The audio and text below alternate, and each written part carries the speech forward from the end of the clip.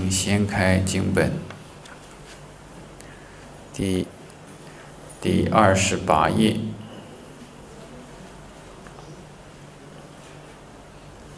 二十八页，大家看第七。处。今天我们进入观察门国土庄严的第七种。触功德成就。同学们看这首偈颂：宝性功德草，柔软左右旋，触者生胜乐。过家占领陀，这是这首偈颂。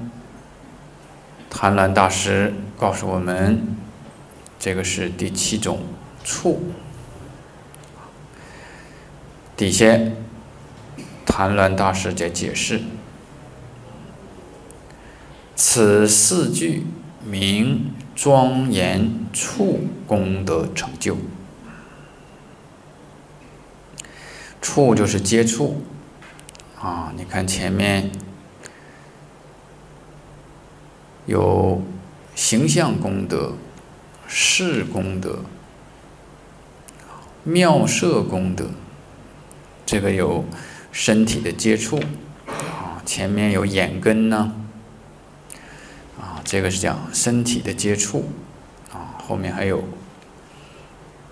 声音呢，耳根呢。都是给我们介绍到了极乐世界环境的庄严。那么在卷上，大家看谭鸾大师给我们解释。首先从菩萨为什么起此庄严啊？为什么发这个心啊？他一定有一个。因缘，菩萨发悲心呢，是得，见到众生的苦恼。所以你看每一段解释啊，先解释建有国土怎么样怎么样怎么样，然后菩菩萨啊发起悲心，事故怨言。同学们再看这一段解释，还是这个。佛本何故起此庄严？啊，佛为什么成就一个国土要庄严处功德呢？见有国土虽宝重金玉，不得为衣服；真完明镜，无异于福具。啊，是缘悦于目。不便于身也。身眼二情，岂复矛盾乎？是故愿言：使我国土人天六情合于水乳，逐去楚月之劳。所以七宝柔软，悦目变身。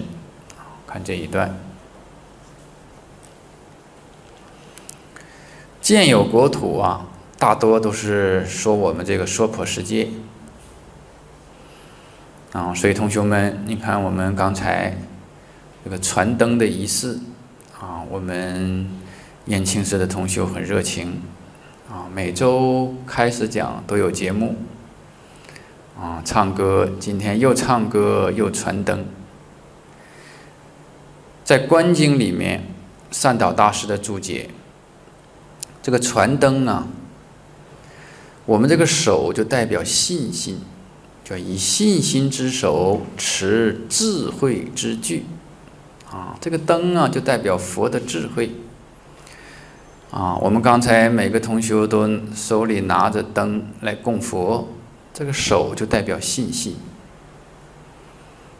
啊，你没有信心呢，这灯就拿不起来。啊，有信心持灯供佛，供佛就是我们要与佛相应的光明。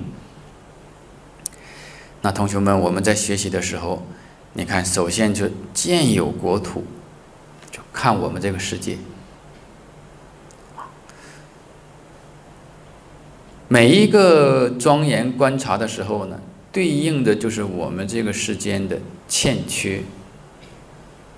啊，你比如说虚伪呀、轮转呐，啊，可破坏呀，这个，啊，就前面的难行的、难行道的，啊，外道向善，乱菩萨法。你没有光明智慧眼，你看不出来。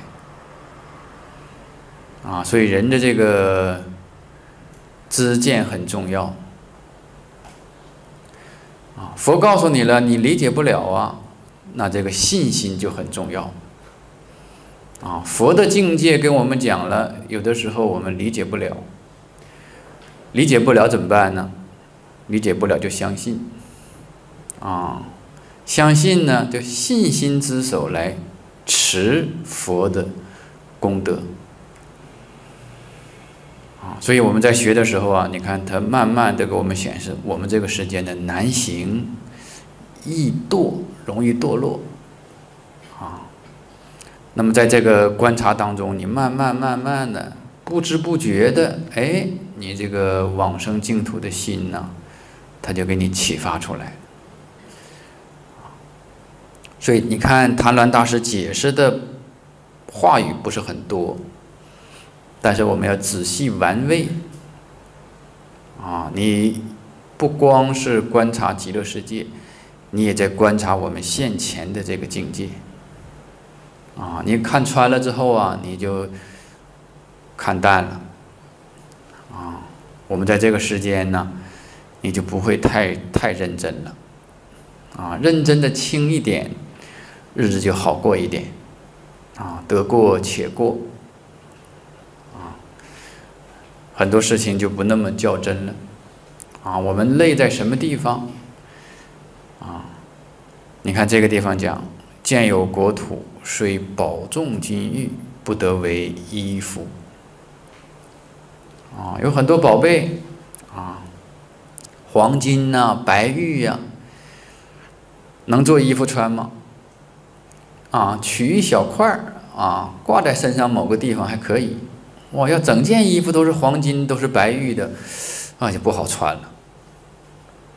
啊，首先它很重，啊，你穿上黄金的衣服，那就跟穿盔甲似的。你一进这个房间，大家都看你，哗啦哗啦哗啦进来了。啊，你要穿浑身衣服都是白玉的，哇，穿起来也够凉的。啊，在冷气房啊，在什么也很辛苦，啊，所以它可以取那么一块儿，挂在身上，挂在手上，挂在手腕上，戴在头上，那装饰还可以。把它作为衣服啊，就不好不舒服了。啊，真丸明镜无异于福福具。啊，福具就是我们这个铺桌子啊、铺床的。等等等等，啊，他就这个思源悦于目，不便于身也。啊，眼睛看了好看呢，但是对身体来讲就有压力。啊，所以同学们，你看，叫身眼二情起伏矛盾。啊，其实同学们，你仔细观察，我们在这个世间呢。你满足了眼睛，就伤害了身体。我告诉大家最明显的，啊，我们最明显的，我们最愿意满足的是什么？我们最愿意满足的是嘴巴。啊，舌头吃什么好吃就吃啊。啊，我也不管肠胃能不能消化，我爱吃，结果身体就就会有反应。吃多了甜的，血糖高；吃多了咸的，血压高；啊，吃多了油的，胆固醇高。啊，你照顾了舌头，就照顾不了身体。啊，所以我们这个世间呢，你不用跟别人去矛盾。我们自己跟自己就矛盾。啊，你照顾了眼睛，身体受不了；照顾了身体，可能其他这个又受不了，心情又受不了。啊，身体想干什么干什么，你内心的良心又受不了。啊，全是矛盾的。那阿弥陀佛看到之后就发愿了：是故愿言，使我国土人天六情合于水乳。啊，我们生到西方极乐世界呀，眼耳鼻舌身意啊，和合的，它不会互相矛盾的。所以西方极乐世界的衣服啊，同学们去读《无量寿经》，它可以是黄金的，也可以是种种质料的。穿在身上呢不会很难过，啊，黄金很好看，我们这个世间的黄金也好看，穿在身上就不舒服。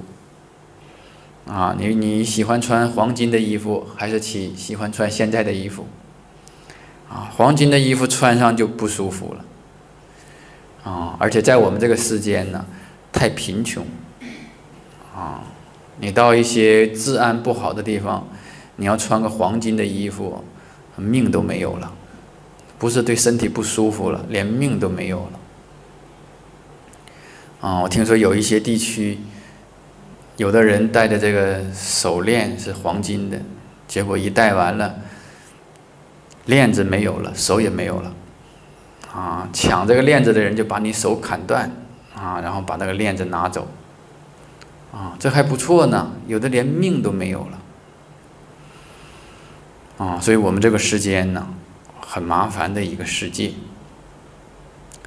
啊，举个例子，除去楚越之劳。啊，楚国跟越国以前就是敌对的两个国家。啊，那你在中间呢？你要是对楚国好啊，越国生烦恼；你要对越国好啊，楚国生烦恼。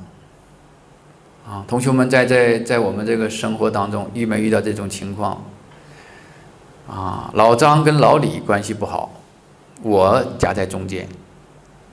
那你要对老李好啊，老张生气；你要对老张好啊，老李烦恼。啊，你要对他俩都不好啊，他俩一块儿生气。啊，对他俩都好啊，分的不均匀也生气。啊，有的时候我们经常是左也不是，右也不是，前也不是，后也不是。啊，尤其你要在工作岗位，你两个长官起烦恼了，对立了，我们说，哎呀，麻烦了。啊，我们下面的人呢，做事就不好做了。其实家庭也是这样。啊，你有兄弟姐妹。假如兄弟姐妹之间对立了，你这父母难过不难过？啊，哪个都是自己生的，对哪个不好啊？对哪个讨厌呢？啊，所以我们这个世间呢，家家有本难念的经，啊，所以同学们不光学佛的念经啊，不学佛的也念经啊。我们这个经好念呐，啊，我们多念好念的经。不好念的经就慢慢调过来了，啊，你不念佛经，你就要念难念的经，啊，你在家里面念吧，念不出头啊，啊，现在我们念了往生论著啊，家里可能还有难念的经，没关系了，难念的经念不了多久了，佛力会加持我，啊，假如你不念净土经典呢，那你家里这个经念不完。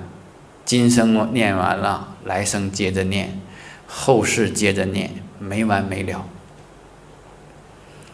啊，所以这部往生论著是帮助我们超越的，啊，观彼世界相，胜过三界道。啊，不光人间，天上我们也要把它超越。啊，这是佛帮助我们超越。啊，除去楚越之劳。所以七宝柔软，悦目变身也。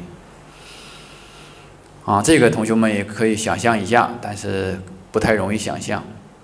啊，我们这个世间的黄金呢，前面讲了，跟极乐世界的黄金比，那个差太多。啊，所以西方极乐世界的黄金呢，碰到以后啊，身体接触以后啊，它都是能让你开悟的。啊，这个地方讲生胜乐，处者生胜乐。啊底下我们看什么叫生胜乐啊？首先，谭鸾大师给我们解释什么叫做迦旃林陀。这个是我们很陌生的一个名词。迦旃林陀者，天竺柔软草名也。触之者能生乐受，故以为喻。啊，我们就知道这个迦旃林陀是一种草。这个草很柔软，啊，摸起来呀很舒服，啊，这种草我也不知道是什么草，啊，我们这个世间的草，大家摸一摸，有的很舒服，有的不舒服，有的很扎人，啊，有的草摸起来呀还挺舒服，啊，有的草上全是刺，摸了手上都是刺。啊，有的时候同学们，你穿个裤子在这个草地里走，走了一圈，你看裤子沾了很多带刺的东西。啊，但是柔这个迦旃林陀呢，它是古印度石头一个柔软草的名字。啊，我们知道它的意思就好。这个地方是举比喻。著者言：此间土石草木各有定体。啊，义者何原木，比宝为草也。当以其兰容容渺，故以草木之耳。啊，因为它柔软，因为它风吹呀，或者手碰啊，啊，眼睛看着也很舒服，手去摸着它也很舒服，就眼睛跟身体呀都接触之后啊，都舒服。不矛盾啊，所以他用这个草了来来来做比喻。鱼若参意，当有别图。鱼就是谭鸾大师自称啊，就假如我去翻译呢，可能谭鸾大师就不拿这个草来做比喻啊。草可能我们一听到草啊，好像都太贬低了。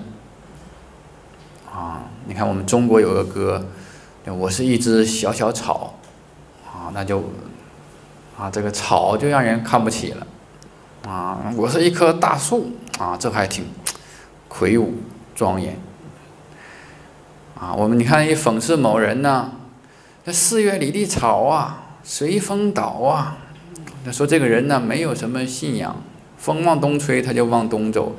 西往西吹，他就往西跑，没有定功，啊，没有一个专注的目标，所以容易让人误会，啊，那么谭鸾大师这个地方讲，也是让我们不要看到草的不好，这个地方形容它柔软左右旋呐，是形容它柔软接触之后的感受，啊，来比喻。下面解释，生胜乐者。触迦旃林陀生染着乐，啊，你触这个草啊，很舒服，但舒服的同时呢，你就被染着了。触比软宝生法喜乐，啊，这个就不一样了。什么叫胜乐啊？胜乐就是它不染着，啊，它生法喜。所以同学们，我们在这个世间的乐呀。一般都是受染着啊，同学们，你看啊，我我昨天在我们新加坡有一个啊，有一个素食的面摊呢，不知道大家吃没吃过？哇，他又开了一家，在盛港又开了一家，昨天开张我去了，他为什么又开了一家呀？就是他做太好吃了，啊，这边离我们附近有一有一家，啊，盛港又开一家，听说单边泥还有一家，哇，越开越多，为什么？染着乐，吃完一遍，第二天又去了，为什么呢？太好吃了，啊，第三天又去了，啊，我去的次数太多了，老板都认识我了，啊，他一开张了，昨天我去他盛港的一家新开张，我去了他。他一开张不到一个小时、两个小时我就来了，啊，这说明了什么呢？就是染着，啊，你吃了之后还想吃，还想吃，就染着了，啊。那么西方极乐世界呢？它不染着，啊，它处什么都是法喜充满，啊，你不会说到那个地方，啊，我们学往生论著了，你到极乐世界就找草去摸去。啊，不庄严了。它的楼你碰到也舒服，树碰到也舒服，啊，你身体接触，耳朵听音声，眼睛看到，就告诉你接触的所有的，你都会生胜乐。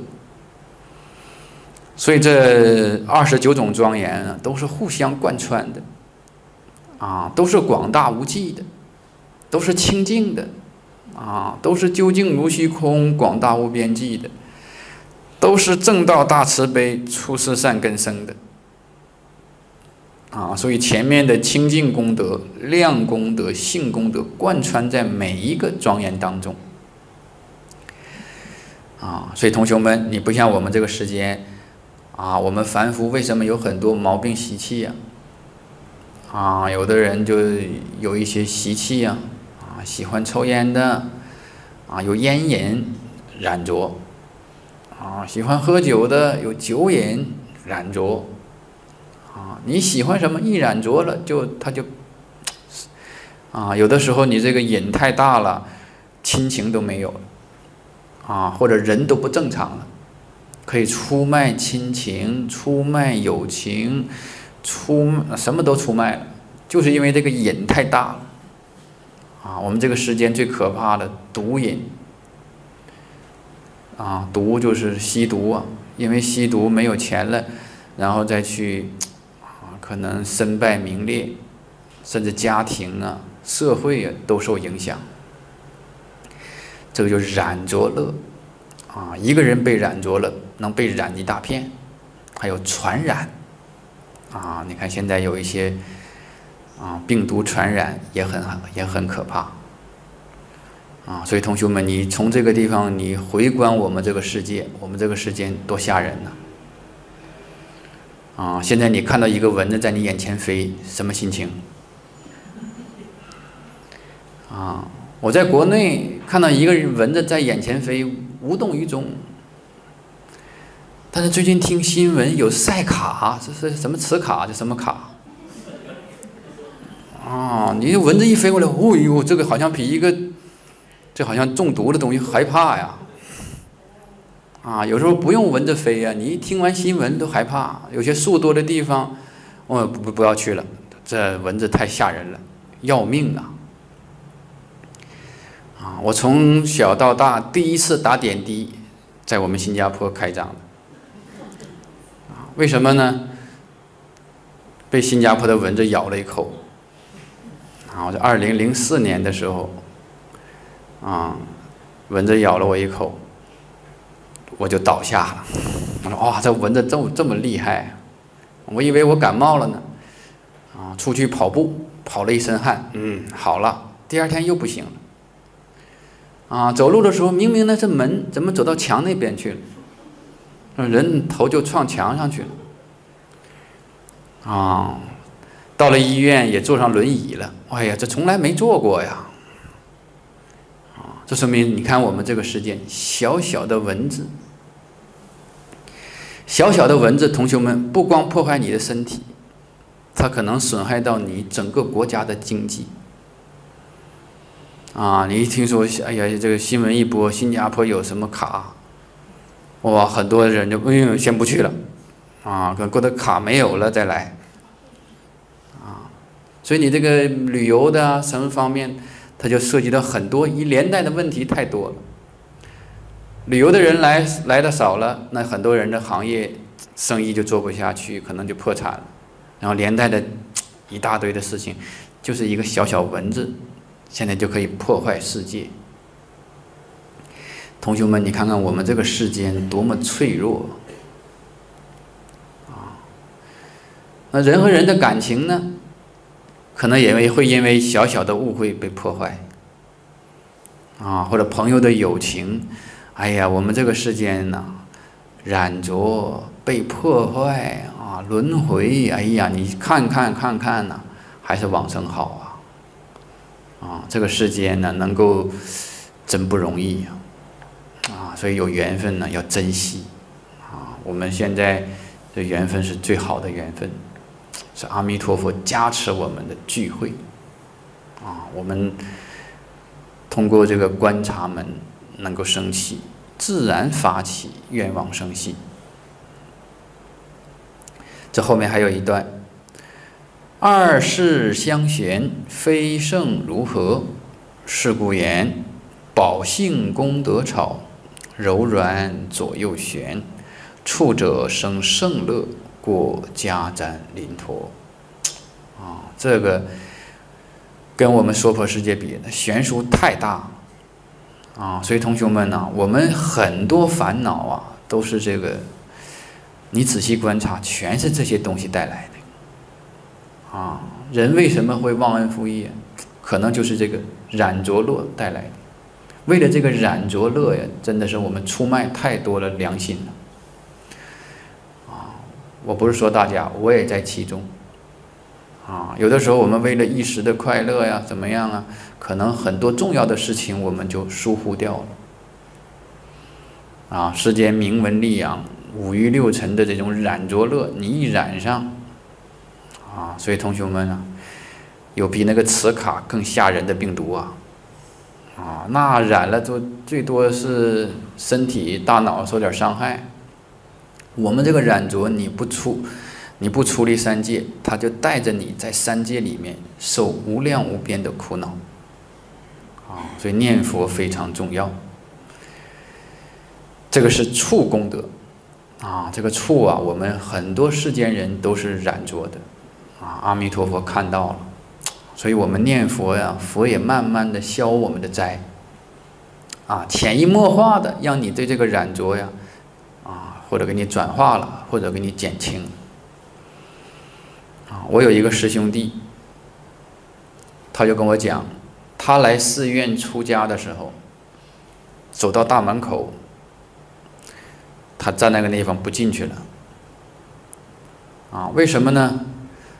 他就心里想。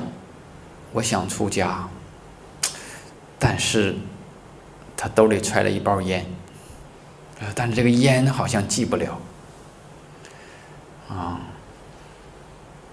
啊，然后他在寺院门口啊，进到寺院里面之后啊，他第一个去的不是大雄宝殿，不是去拜佛，一进寺院门口就拐了，拐到什么地方啊？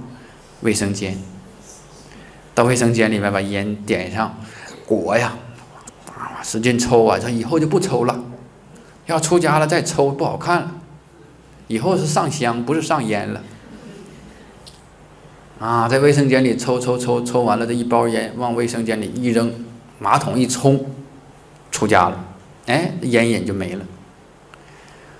啊，我一看，他说：“哎呦，他说这个到寺庙里面，他说是有佛力加持啊。”在家的时候戒烟呢，戒了好几次，又捡起来了；戒了又捡起来了。这回一出家，一猛力，佛的一加持，再也不捡起来了。啊，到现在了，快二十年了，看也没碰过烟。啊，所以他有佛力加持。啊，所以同学们，我们平时啊，你有些毛病习气呀，这个凡夫难免都有一点不好的嗜好，多念佛。佛力会加持你，慢慢回避掉，避免掉。啊，你说我这辈子可能都够呛了，那阿弥陀佛给你接到极乐世界，它自然就没了。啊，那是一个光明正道、大慈悲的世界，这些东西都自然化解。啊，所以你看这个环境就知道了，到那个时候你不会有这个烟瘾了。我没看到哪个菩萨还抽烟的，在极乐世界。到我们这个世间呢，他可能要随缘度众生啊，有的时候要示现啊，这个都是啊，那那倒是再成愿再来了就不怕了啊，那一切都是示现，接引众生，不会染着啊。我们现在就是会染着啊。同学们再看下面第八，三种事。这三种事啊，就是水、地，还有虚空。啊，这是我们最基本的。先观察水，宝花千万种，弥覆池流泉，微风动花叶，交错光乱转。啊，此四句名庄严水功德成就。啊，在西方极乐世界水的庄严。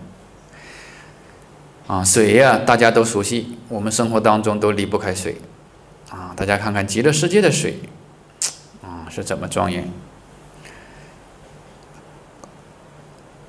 佛本何故起此愿？见有国土或云逆洪涛。紫墨惊人，或凝思遐谢，触家怀特，向无安乐之情，备有恐直之虑。先讲我们这个时间的水，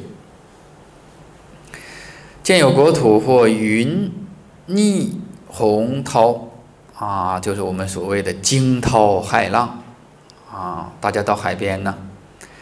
那你风浪大的时候，你到海边，到到到一些风浪大的地方，你看恐怖啊！啊，有的时候同学们，你看电视，看到那个深海那个海洋，啊，那个船在里面就像火柴盒一样，说拍就给你拍碎了，啊，那个真的恐怖啊！我有一次是受戒，啊，出家受戒，我在潮州受戒。然后到上海，从上海坐船到大连，啊，我第一次坐船，去体验体验。到晚上的时候，我就到甲板上，哇，那是恐怖啊，一片黑呀，看不到边呐，看不到岸，然后往下看这个水，海水呀，那个时候是冬天，很凉啊，啊，那个时候我想，谁要在后面给我抱扔下去，我就完了。那是那海黑乎乎的，看不到底，啊，一片往旁边往周围看全是黑暗的，啊，然后那个声音也是很恐怖的，啊，那个时候你就哎呦很还，自然有恐惧心。这要是谁给我扔下去，你喊救命都听不到啊。那还没有什么风浪嘛，假如你遇到大风大浪，那更吓人。啊，我们有一个。同参道友去海里放生，吓着了。啊，他去放生那天正好起浪，那浪能有几米，拍在船上。他放生还捡条命回来，啊，好像把自己也放生了。啊，回来就讲这个吓人呐。啊，这个同学们，我们自己不要亲身经历，你有时候看看电视，我们说海啸什么的，你看看，哇，这个很这个水不庄严呐，这很凶猛啊。啊，紫墨惊人，紫墨惊人，紫就是这个水里面还有一些杂质的东西，啊，或凝思遐谢，啊，触家怀特这个词儿啊，我都是现查字典的，我也不认识这字，很少用。什么意思呢？就好像你看，一下这个南北极的冰啊，融化了。它飘在海里面，啊，你看着它很小啊，其实它底下很大。它来过来飘过来了，你这个船一撞上，大家看没看过《泰坦尼克号》那个电影？你看那个船很大，它跟那个冰山比很小，啊，两个冰山飘过来一挤就给你挤碎掉，啊，所以我们认为的很大的轮船，很很结实的。我们认为很结实，其实跟大自然比很脆弱。啊，我们人的命也很脆弱。啊，前两天我在网上看到一个九幺幺那个大楼的实况视频。啊，我就看那个大楼被撞了以后啊，上面有人往下跳，那个尸体很小很小。啊，人命啊，真脆弱呀。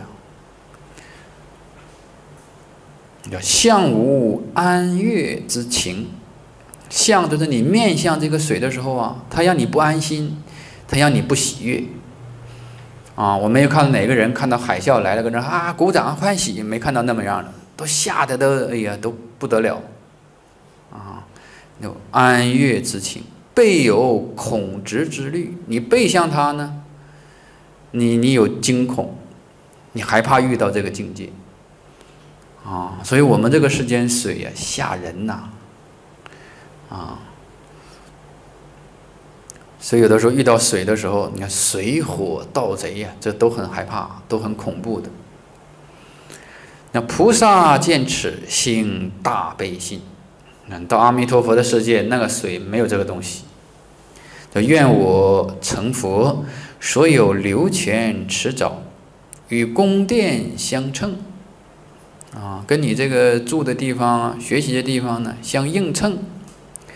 呃，种种宝花不为水势啊，水上面都是宝花，不像我们这水上面都是冰啊，什么都危险，飘的都是漂浮物。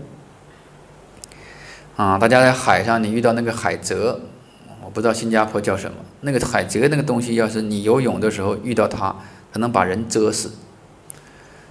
啊，所以这个叫水什么啊？啊，叫水母啊！啊，那蛰一下子能把人蛰死。啊，有一次有一个人给我做这个水母让我吃，他说法是素的。我说这哪是素的，这还蛰人呢。他认为是这海里像海带一样，其实我知道这不是素的。啊，所以这个这个。水里面的漂浮物也很吓人，啊，西方极乐世界呢都是宝花。应发有序，开神悦体，啊，开神悦体呀，就是你到里面泡一泡啊，什么病都没有了，啊，你看《弥陀经》里面讲的七宝池八功德水，啊，你要有一瓶八功德水，哎呀，那就不得了。你有什么病啊？喝下去，它长养诸根。啊，你说你是老花眼，来，我给你点一滴，变成天眼通。啊，我说耳朵背听不到，给你点一滴，天耳通。可惜我没有。啊，我们这个世间水，这效果没这么好。所以西方极乐世界那个七宝池八功德水，你到那个地方不可能有病。就无一不可，是故言宝花千万种，弥覆池流泉，微风动花叶，交错光乱转。这只是略说极乐世界水的功德。啊，我跟大家呢都是简略的介绍。啊，同学们明白大概意思呢？你回家自己去。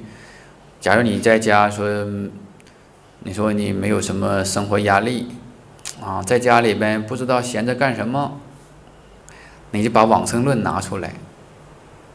啊，你比如说观察水的功德，那你就把净土三经拿出来，凡是讲极乐世界水功德的经文，你都给它揭露出来。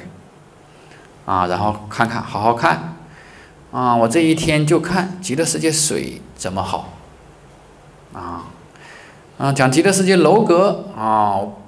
把净土三经拿出来，关于极乐世界房子什么样，好好看，然后看祖师的解释，然后你再回观看看我们这个世间的水，啊，你观察久了，你就开智慧，啊，你比一般人呢就有智慧，这观察门就对着我们的智慧，啊，观察就开智慧，啊，你从这个水上你就知道我们这个世间多么恐怖。啊，我们这个世间没有不恐怖的，水恐怖，火恐不恐恐怖不恐怖？恐怖你还不能离开它。你说水恐怖，明天我把水掐了，掐了很快就走了，你还要喝水。电恐怖恐怖恐怖不恐怖？恐怖好，明天关电，关电我们更恐怖。这日子，电视也看不了了，我的讲经也没有麦克风了，啊，大家就摸黑了。你他恐怖，你还不能离开他，我们要天天跟恐怖在一块过着，不能离开，离开更恐怖。你说我们恐怖不恐怖？人恐怖不恐怖？哇，大家都知道人恐怖，恐怖。啊，啊，这这，那外面人恐怖，家里人恐怖不恐怖？恐怖 也恐怖。这个世界就是恐怖世界，啊，我们看这世界，我们这个时间还有恐怖分子，那是那是明显的恐怖分子，啊，那是这是。发狂了，那我们都没有理由去害人，啊，我们世间人呢，啊，我们有时候一发脾气也很恐怖，啊，家里人，他家回家试一试，假如你一家人有一个人脸拉拉着，往下一放，全家人都不会高兴，哎，这一下子全家人的心情都会受影响，所以同学们呢，我们不到万不得已啊，不能影响家庭。气氛啊，所以大家要常欢喜，常笑啊，笑面迎人啊，你常常笑啊，嘴角往上翘啊，你的缘分就好啊。不信你试一试，你天天这撇嘴，看到什么人都撇嘴，生意也不好，人缘也不好，净倒霉，什么运气事都跟你没关系，你不通，你不走运。啊，你天天笑笑，遇到倒霉事也笑笑一笑都不倒霉了。那倒霉事儿都看你太高兴了，不跟你在一块儿。啊，你说我们刚才供灯都供弥勒菩萨，弥勒菩萨天天笑，他不倒霉。倒霉的人遇到他都不倒霉了。啊，我看看到那四马路啊，弥勒菩萨让人摸成那样还笑呢。啊，同学们，你去丈量人挨个来摸呢，你看你能笑出来吗？啊，摸完头，摸耳朵，摸肚皮，摸完他还搁那笑，啊，大家走过去你能开悟啊，那就是佛菩萨呀，啊，我们被人耍，被人欺负了，被人怎么样了啊，嗔恨的不得了。你看菩佛菩萨一直笑，所以他佩服，那才叫人家做菩萨，我们做凡夫，他是有原因的，啊。所以这个是观察水。同学们再看底下，啊，底下就是观察极乐世界的地，啊，上面有小课题：宫殿住楼阁，观十方无碍，杂树一光射，宝蓝遍围绕。啊，这一点我们新加坡的这个。楼设计的很好，啊，我坐飞机下来的时候，看新加坡真的是设计的庄严，啊，这个主屋啊，看着排着的整齐，啊，总是新新的，好像三年五年就刷一下，刷一下油漆，我到有一些国家，那个房子像着过火似的，那 很多年也不刷了，啊，所以市容啊，我们新加坡确实是。啊，在全世界能排得上，到了这个环境就很舒服，但是极乐世界更舒服。啊，你看极乐世界，此世具名庄严地功德成就，佛本何故起此庄严？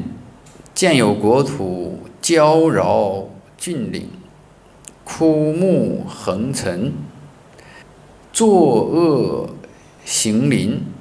烧毛迎鹤，茫茫沧海为掘木之川，蓝蓝广泽为无中之所。哎呀，同学们读这个话呀，都心里都不舒服啊！啊，第一个不舒服就是我这个字都不认识，我今天还要查了半天。啊，你看这累不累？娇娆峻岭就是高山绝壁悬崖。啊，同学们，你去中国，你去攀登攀登高山，啊，年纪大的都攀不起呀，啊，年纪轻的上去，你看害怕不害怕？啊，悬崖绝壁，啊，枯木横陈，有些地方你看的特别荒凉，同学们看看那个世界这个这方面的片子，你看一看，有些地方多么吓人。啊，野兽、猛兽，啊，森林里面的枯木，啊，还有作恶行林，啊，这个里面底下都有小字，大家看，这底下都有小字，啊，深谷啊，啊，山茂、山峭茂啊，深崖呀，等等等等，还有烧毛。啊，烧就是恶草，啊，毛就是道多草不可行，啊，走路啊什么不方便。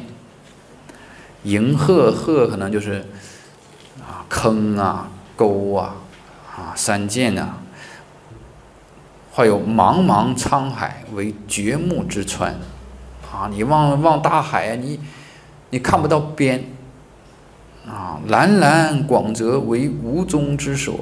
你像沙漠呀、沼泽呀，啊，我小的时候看的一个电影，可能同学们都看过这连续剧，叫《这里黎明静悄悄》，大家看没看过？我小时候看的老片子。那有一个苏联军人呢，女兵啊，回去报信，他遇到遇到敌人了，回去报信就遇到这个沼泽，啊。走一走掉下去，那人慢慢慢慢就陷进去了，陷在那个泥潭里出不来了，陷陷陷陷陷，人就陷进去。你越挣扎，陷得越快。啊，所以这个都是要命的地方。啊，我小时候看到之后啊，这一辈子都忘不了，害怕。啊，这个沼泽呀、沙漠呀，还有这个茫茫沧海呀，这个地多吓人。菩萨见此，心大悲愿，啊，愿我国土。下面讲极乐世界了。地，地平如掌，啊，极乐世界大地平不平啊？大家看你手掌平吗？也不算太平吧。啊，地平如掌，就不要太平，跟掌差不多就行了。啊，我们手掌都是软弱的，你看踩上去。啊，这宫殿楼阁静纳十方。西方极乐世界的房子很好，它大，你看静纳十方。你到西方极乐世界这个房子里面呢，你看景色不是看一方面，十方。啊，同学们，你住的房子很好，就是你观察的环境，你去看，你说你要买一个房子。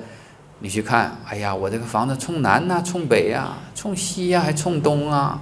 你要找一个，啊，我的房子面前这个景色怎么样啊？景色不错啊，买下了。买完之后，你房前面又盖一个房子，把景色挡住了。啊，西方极乐世界不会有这种情况。啊，你到西方极乐世界，你在房子里面不用按电视。你随时往哪个墙上一看，你说我想看新加坡，新加坡就出来了。啊，我想回头看看我娑婆世界，我以前生活的环境现在变成什么样了？哇，就看到了。啊，原来你看到，哎呦，我邻居也念佛了，那过两天我跟阿弥陀佛一块接他。啊，你都能看得很清楚。或者你生生世世有缘的人呢，你在房子里面就都看到，就观十方无碍。啊敌无所属，亦非不属啊！这两句都挺有意思。敌无所属啊，它不是属于哪一个人的，但是呢，也是属于哪一个人的，这个有意思了。啊，同学们，你看我们现在这个房子就不这样，啊，多大牌多少号，多少多少号，就是老李家，就绝对不是老张家。啊，多少号就是老李家，就不是老马家。就个人有个人的房子，啊，而且我们还要有房产证啊，没有房产证，这房子就不不安心呢。西方极乐世界没有归谁的，啊，房子都是大家用的，啊，你用也是你的，你不用呢，别人也可以用。这个这个要是落实在我们这个世间就乱套了，啊，为什么呢？因为我们世间的人呢，这个素质还不够，啊，西方极乐世界的菩萨们那个素质高，所以大家可以共用。啊，我们这个世间呢，这个这个房子就我的就是我的，啊，不是我的，可能父母走了还要争争成是我的，啊，可能兄弟姐妹啊，父母一走了，可能还要争房产、争财产，啊，家庭好的呢，环境好的可能不会争，顶多是分，啊，我看到很多人呢，那父母太富裕了，一走了。儿女就上法庭去争去了，啊，这父母看到了多多难过呢。这西方极乐世界不会有这些事情，啊，说敌无所属，亦非不属，这个很好，啊，这个境界呢，让人接触之后安心。叫宝树宝兰，互为应试。啊，这个我们就说它排的整齐、庄严。说是故言：宫殿筑楼阁，观十方无碍；杂树异光色，宝兰遍围绕。啊，这西方极乐世界地的庄严。啊，同学们看《观无量寿佛经》，他为什么说十方呢？因为西方极乐世界大地是透明的，你能看到地下。啊。地底下是什么啊？琉璃啊，什么柱子啊，在撑着，很庄严。我们再往下看，虚空，无量宝交落，罗网遍虚空，种种灵发响，宣吐妙法印。啊，此四句名庄严虚空功德成就。佛本何故其此庄严？见有国土烟云尘雾，啊，大家这个比较熟悉吧？啊，你看印尼一烧巴了，我们这边就知道了，什么叫烟云尘雾？啊，去年我到印尼呀，戴个口罩啊，啊，不戴口罩不行啊，因为一看，哇，原来都看不到对面了，啊，所以这个。我们这个世间有空气污染，叫壁障太虚啊，所以讲到我们建有国土的时候，同学们都非常熟悉，因为我们天天的接触这个境界。阵列尘霍，这个地方叫陈霸，但有个书叫印的是陈霍啊，这个没关系。前天晚上好像大家是晚上睡觉的时候有没有被雷惊醒？啊，那个雷声真的是很大呀！啊，新加坡的雷我是领教了，比中国的响啊。嗯，啊，晚上那一打了之后，我就我正那时候正在做梦呢，一下给我打醒了。嗯，其实有的时候已经醒了，啊，他要在接近早晨了，他他他打打雷，那吓一跳啊！啊，正安静的时候，突然间，哦哟，这一下，所以我们这个世间呢，你看中国古人呢，《太上感应篇》上讲，晚上外面要是暴风大雷呀，他起来赶快穿袍搭衣呀，祈祷，啊，因为这个天空就告诉你有一些不好的预兆，啊，你看上面写从上而堕，不祥灾迷。美自空来，忧虑百端，为之毛数。啊，有时候这个大雷呀、大的闪电呢，啊，下来之后让人心恐慌。那我们现在同学们，你遇到这个境界，你肯定自然阿弥陀佛，阿弥陀佛，阿弥陀佛的念佛。你看过去有时候看一些老人呢，遇到急事就阿弥陀佛，阿弥陀佛，阿弥陀佛。我现在想到我小时候，我的祖母。从来不知道我祖母是是学佛的，啊，外祖母，啊，遇到急事儿了，阿弥陀佛，阿弥陀保佑，阿弥陀保佑啊！他已经变成我们华人的一个文化了。他信不信，他都不知道，他也不知道什么净土宗，可能知道有佛，啊，可能小时候老人就是这个习惯，啊，一打雷、一下雨了，或者一有灾难了，阿弥陀，阿弥陀佛，啊，家里面有急事儿了，就就念佛，啊，那佛力保佑，佛力加持。忧虑百端，为之毛素。同学们还差一点呢。你要有事情的人就会忧虑百端。啊，刚才我来之前下雨，庄莲师就想：哎呀，同学们来听经，下雨呀，你看这就有忧虑啊。啊，我们因为会担心一些事情。啊，同学们，我们这样，你知道农民更吓人呐。农民一看，哎呦，我的柿子怎么办？哎呦，我的种的什么怎么办？这一大雨一一下来之后啊，你看我们没什么感觉，农民感觉可可敏感了，因为他要靠天老天爷吃饭的，他这个种子刚开花，准备要结果了，一场大雨可能就全部破坏掉了。所以这个忧虑百端呢，农民比我们还要敏感，啊，你比如说某人明天要结婚了。哇，明天一看，哇，天气预报明天大雷阵雨，哇，他就忧虑百端了。那个那个不结婚的就没感觉，因为你就明天没有事情嘛。啊，所以同学们，有的时候我们靠老天爷，需要老天爷帮忙的时候，你才知道这个吓人呐。不祥之灾灾迷，每至空来呀。很多事情你计划的好好的，嗯，突然间来这个事情就。说破世界呀，想成就一些事情非常的不容易。啊，你以为我们有时候想想，好像很些很多缘，好像很容易，其实一点都不容易。有一样事情错过了，它都会有影响。啊，同学们，我们这个人生，可能哪一个时段你稍微一个念头、一个想法、一个举动。有问题了，你后半的命运就全部被破坏了啊！所以同学，我们要念佛呀，佛力加持！啊，我二十四、二十三岁的时候，要一个念头稍微一松动，我现在就不是这个形象了，可能就不出家了，可能就走到另外一条道，走到另外一条道，那个命运就不一样了啊！可能就不是劝大家念阿弥陀佛了，可能做什么生意去了。啊，劝大家去买什么做什么了，那以后的命运完全不一样了。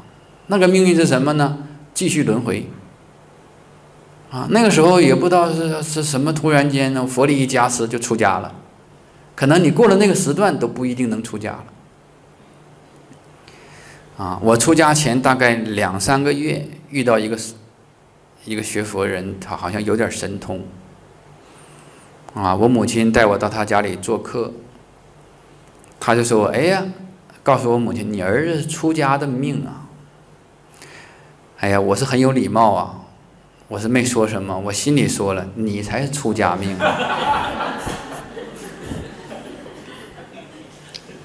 啊，那时候我认为出家那当和尚是干什么的？我学佛可以，不能当和尚。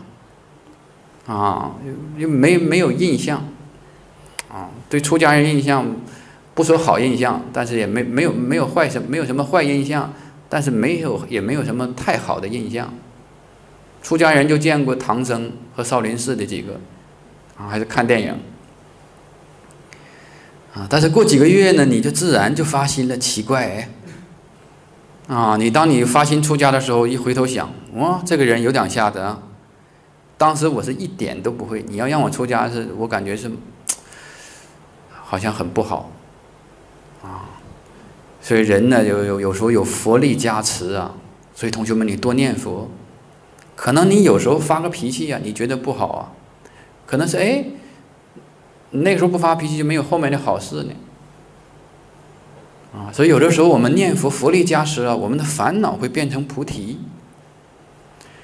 啊，有些事情你起烦恼，反而哎让你跑到正道上来了。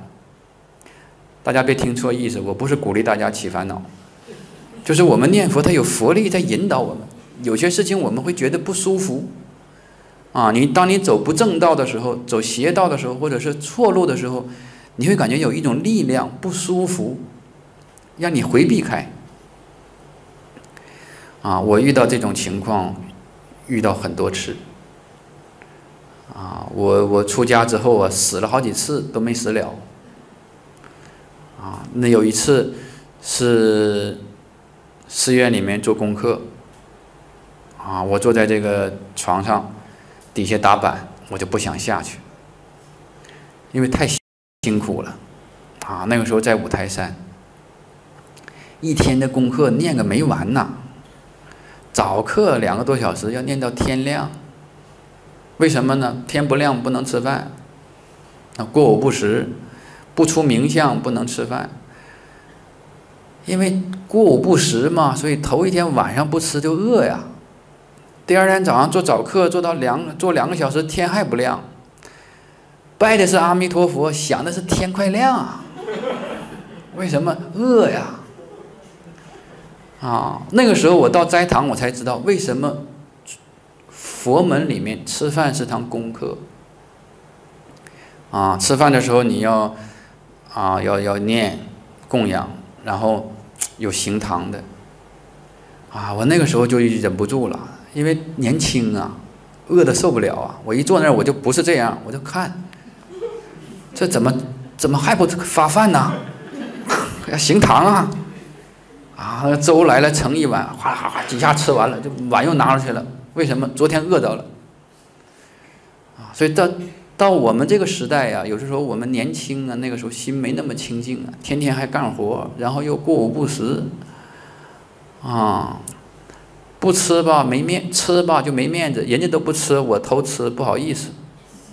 啊，那很多法师都出家多年，心清净啊，我是刚出家呀。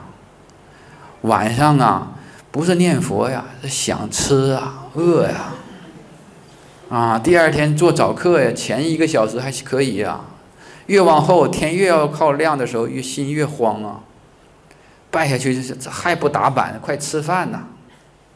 所以我们这个，他这个我们这个世间那个修行啊不容易，啊，的种种困难。啊，所以那时候我就体会到末法时期呀，我们的末法时期的人这个心力啊没那么大了，啊，佛给我们的这个一些戒律啊正法时期，我们现在承受不起了，啊，所以到末法时期，我们要靠佛力加持，走一行道，啊，一心念佛，啊，念佛你心清净啊，哎，你可以晚上少吃，啊，再清净可以不吃，啊，那么最好。晚上可以啊，肠胃休息呀，睡眠呐，各个方面都有好处。啊，这看个人的发心，个人的体质。啊，所以同学们，这个佛力加持很重要。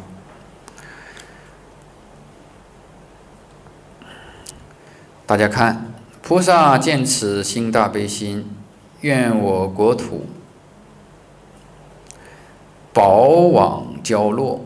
罗遍虚空，啊，所以西方极乐世界虚空啊，它的空气是清新的，而且有宝网在空中自然漂浮，用不到像我们这个还要支撑啊，还要绑在什么地方，这个有佛力加持，灵夺工商明宣道法，这空中有声音，啊，它这个声音不是打雷闪电的声音，它这个是讲法的声音。啊，美妙的音声，啊，所以空中传来之后啊，我们听了之后啊，它是讲法的声音，所以你听了之后会开悟，叫视之无厌，怀道见德，啊，你眼睛看空中这些罗网呢，你不会看着讨，看的没有意思了，啊，它它的变化让一直能摄受你的眼，啊，怀道见德。能让你在道上，在道德上，啊，在佛的与佛相应的知见功德上，啊，所以到西方极乐世界，它是自自然然不退转于阿耨多罗三藐三菩提，啊，你看我们新加坡的牛车水，啊，每次过年呢，中秋节啊，你去看它要变化，啊，今年是猴年，明年是什么年，它就出来了，它种种要变化，它老有不变呢，大家就不愿意去，啊，年年都这样啊，不爱去了，所以要设计天年年有变化，猴年什么样，羊年什么样，马年什么样啊，啊，西方极乐世界呢，它视之无厌。啊，最重要的，他最后还是回归到怀道见德。是故言无量宝交罗，罗网遍虚空，种种灵发响，宣吐妙法音。啊，这个水、地和虚空啊，就是第八种功德。啊，三种事，功德庄严。同学们再往下看，第九雨，雨，实际上这个念玉，啊，玉花一庄严，无量香普心。这个玉就是形容啊，像下雨一样。此二句名庄严与功德成就。啊，同学们，你看下雨有什么庄严的？啊，刚才我们这就下雨了。我们先看。解释我们这个世界，佛本何故兴此庄严？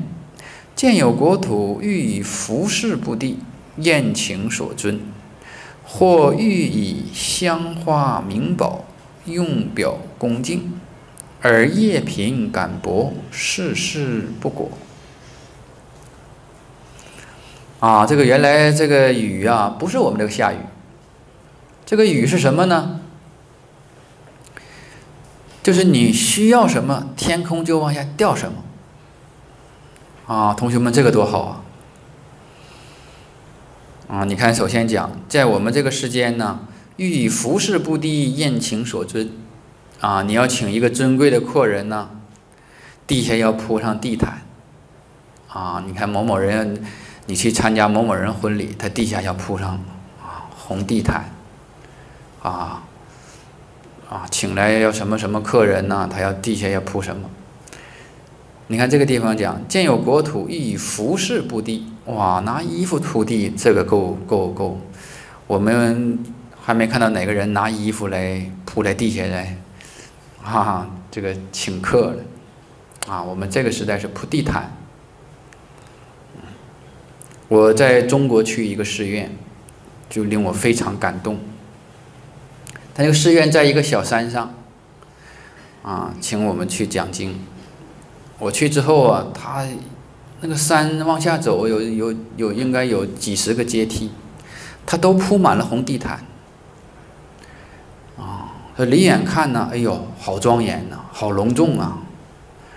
啊，我上了去，从那个地毯上的那个寺院上去才吓我一跳，原来这么个破庙。啊，那个大殿很这都是陈旧的。啊，简陋的。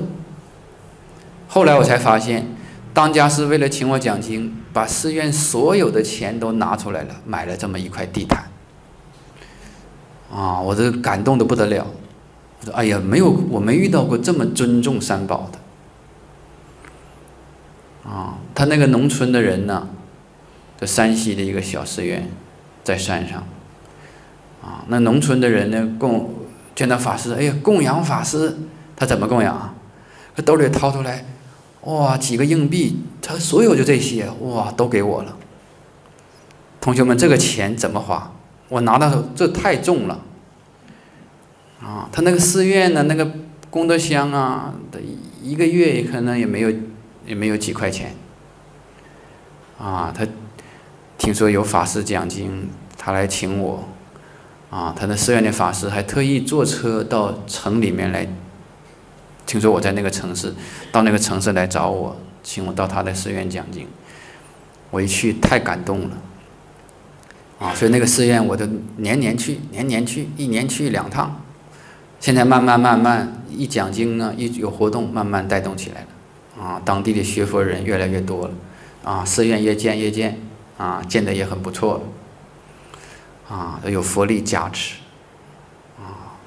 然后跟那个法师一想，一回顾当初刚开始的时候，啊，我说他感应为什么这么快？就他那一开始那片心太诚恳了。啊，他整个寺院的家当五千块，买了一个地毯，从山下铺到山上。啊，现在五千块拿出来，对一个寺院来讲，就一个人拿五千块，可能都不太太吃力呀。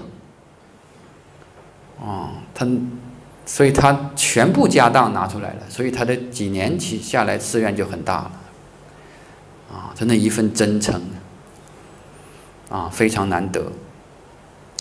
啊你看这个地方，或以香花名宝用表恭敬，后面这个就是，而业贫感薄，事事不果。啊，有的有的时候我们想很想发心做好事呢，但是我们能力业贫，我们的业是贫困啊，因为造业，所以自己是贫穷的果报，感薄。啊，感应呢也不是那么明显，为什么呢？我们可能发心呢，诚心呢，啊，方方面面呢，或者信心呢不够，啊，有的时候我们做这个做佛法的事情，你没有这个眼光，好缘在你面前你抓不住，啊，第一个要有眼光，你要认识什么是福田。啊，世间人呐，你看有些人股票的人呐，你一说谈到股票，有些人眼睛放光，哪个股票好，我就告诉你，专门指导你买哪个股票。啊，就是指导人投资啊。这位同学，你学佛呀，佛指导你，你往哪里面投资？把你的精神，把你的精力，把你主要的精力投注到哪个地方？啊，现在大家找没找到大福田在什么地方？啊，《无量寿经》里面讲，是福田，受法眼。啊，佛给你指示什么地方是大福田？啊，就这六个字，南无阿弥陀佛，就是大福田。啊，天天张嘴念。啊，所以我有我有一些供养，我都做这个精美的佛号供养大家。啊，你看我。有这个钥匙串的，我还要再做别的，不断在发现，就供养佛号，啊，有一个老居士跟我讲，说法师供养佛号非常好，啊，我说为什么呢？他说不容易出错，啊，他说印经啊，有时候印错了麻烦了，他好像有一次印什么经，印完了说一发现哇印错了，哇印了多少本，你一一本一本改多费劲。印佛号就六个字，很好检查。南无阿弥陀佛，没错，多印，啊，就送出去了。啊，当然印经也鼓励印，但是别印错了。啊，同学们印经啊，最好找一些正规的寺院，啊，它流通经典。你自己印呢，有的时候容易啊，这个排版呐，或者是有错别字校正啊，出问题了，你印出来就会遇到困难。啊，你看我们这个书印的多好，排版好，啊，这个该黑体字的黑体字，该分段的分段，该有课题的课题，啊，一看一目了然，所以这个是在我们这个世间呢，我们业贫感薄，事事不果，啊，我们做很多事情为什么做不成呢？大家的福报不够。啊，有的时候想发起一些好事，哎，半道就被破坏了，啊，或者刚开始挺发心，一一发展发展变心了，就是业贫感薄。大家都富有的话，都没有在这里面有一些索取的心、增值的心，这个好事就容易持续下去。啊，好事被破坏，就是大家一开始发心不错，做一做，做一做，各有所得，各有所争，这坏事，这好事慢慢就被破坏。所以这个与功德我们就知道了。大家往下看，是故兴大悲愿，愿我国土常遇此物，满众生意。啊，同学们，这个多方便呢！这回你出门你不用带钱包了，哎呀，这个多少钱呢？伸一伸手，嘣，天上掉下来五块钱呢，啊，掉五块给你。啊，西方极乐世界不会是掉钱，它不需要钱。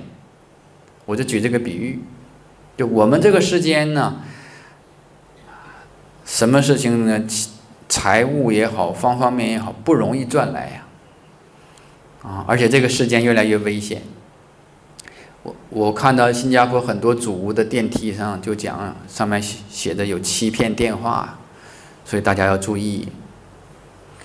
啊，我在一些地方还听说，有的人那个手机呀，用了几年了，你把它卖了，你也要注意啊。你这个手机用了几年，如果里面有一些信息呀，你认为删掉了。但是你卖了那个人呢，他能把你的信息全部再调出来。啊，我觉得现在，现在有些盗贼都不用到你家里去抢了，他可能上网进你手机里就把你的什么账号盗走了，钱就没了。啊，现在这个世间呢，电脑越来越发达，也越来越可怕了。啊，可能你存了几十年的财物啊，一不小心呢，都不用遇到人抢，就被人就给转账转走了。啊，所以电电脑时代呀，方便，也方便贼了，啊，所以这个同学们也要小心，啊，现在还有一些诈骗电话都要注意，啊，尤其就是我们学佛呀，都一片善心呐，我们都不设防啊，啊，我有一次就被人骗个精光，啊，那是什么？那是欠他的，啊。他一开始说：“师傅，我要自杀。”啊，他吓唬我。我说：“你别自杀呀！啊，你为什么要自杀呀？”他说：“我我怎么怎么怎么怎么样？”啊，我就我说：“那那那那你找工作呀？找工作需要钱。”啊，我给他一点。过两天他又来了，我还要租房子，我又给他一点。过两天他又来了，他又要什么什么？啊，找了工作要先付多少钱？我又给他多少钱？第四，他第四次他来了，我为什么不上当了？因为我没有钱了。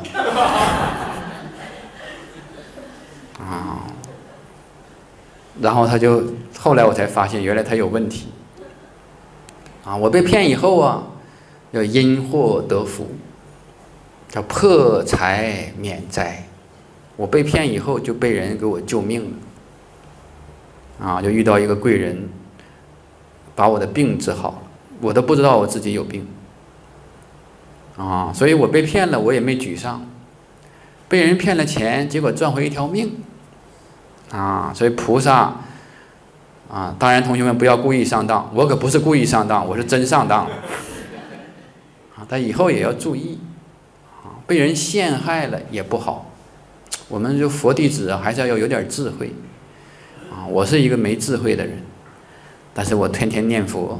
念佛人是最有智慧的，啊，我们在世间被人骗了，顶多算不聪明，啊，我们没有那么多设防，但这个社会污染很厉害，你被骗一次、两次、三次、四次，以后有人再你就会有疑虑了，啊，所以这个世间呢，他为什么会遇到这个事啊？就是欲功与功德庄严没有成就。啊，阿弥陀佛，假如让每一个人都富裕了，大家就没有盗贼了。啊，为什么有盗贼、有人欺骗、有人陷害呢？会争夺呢？因为大家都穷啊。啊，狼多肉少啊，所以就要争啊。啊，阿弥陀佛看得很清楚。啊，到西方极乐世界，啊，常遇此物，满众生意。何故以语为言？恐取着云：若常遇花衣，亦应填塞虚空，何缘不妨？啊，假如天天下雨，都下这个花，下衣服太多了，也有妨碍啊！啊，同学们，你看我们这个时间也是，东西没有啊，穷，太多了也是妨碍。啊，太多了你就招贼，啊，招人嫉妒，招人陷害。那么西方极乐世界呢？祖师以这个为比喻，就是告诉我们，大家往下看，是故以雨为喻，禹适时则无洪涛之患。啊，雨适时就是你需要的时候它就下，你不需要的时候啊它就没有了。啊，这个同学们多好啊！啊，我们现在尤其我们华人呢，我们华人有一个储备的观念，啊，钱财储蓄一点，财务储蓄一点，啊，以备需要的时候能拿得出来。那储备啊，有的时候就要操心了。啊，你往哪储备都操心，往银行储蓄啊，利率下降了。啊，往股票那投资啊，它蹦来蹦去的，我们心也蹦来蹦去的。啊，高了我们也蹦，低了我们也蹦，啊，不高不低还蹦，希望它蹦，操人就很累。啊，你看那个，我看过一些炒股票的人，他早上第一眼看什么？打开电脑看股票怎么样？晚上睡觉前还要看股票怎么样？啊，我们一块做佛事念佛，三十系念，第一时下来休息，他打开看看股票怎么样？第二时股票怎么样？哇，他这是真的是贯穿的是股票，他在信念股票，不在信念弥陀哎。啊，像这样的人，我就跟他讲，什么叫信念弥陀，你知道吗？他说我不知道啊。我说念股票就是像信念弥陀一样，一睁眼睛先看股票。你哪一天一睁眼睛先看阿弥陀佛，啊，一干什么事完先念阿弥陀佛，叫细念弥陀。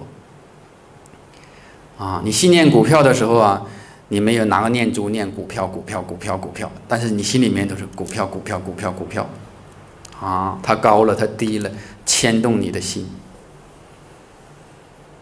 啊，为什么这样？就是我们业贫感薄。大家往下看。安乐报岂有累情之物乎？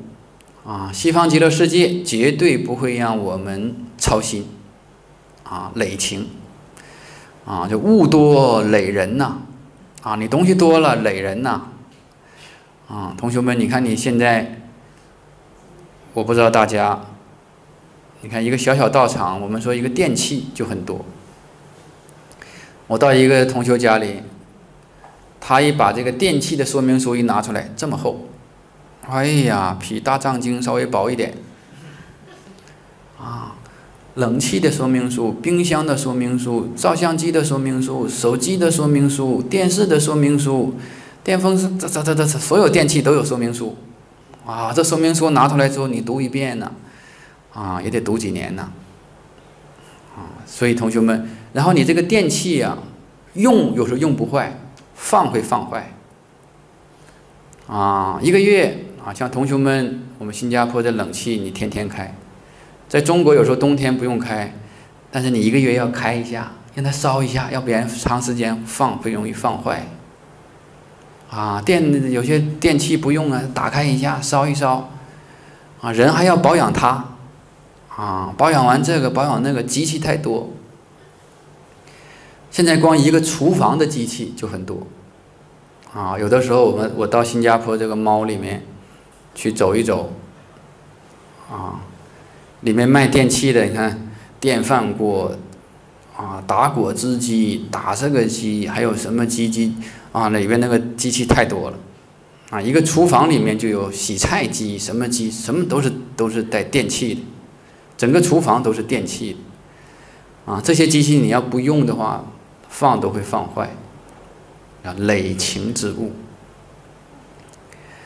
啊，大家往下看，今年日夜六时，与宝衣，与宝花，宝质柔软，屡见其上，则下是存。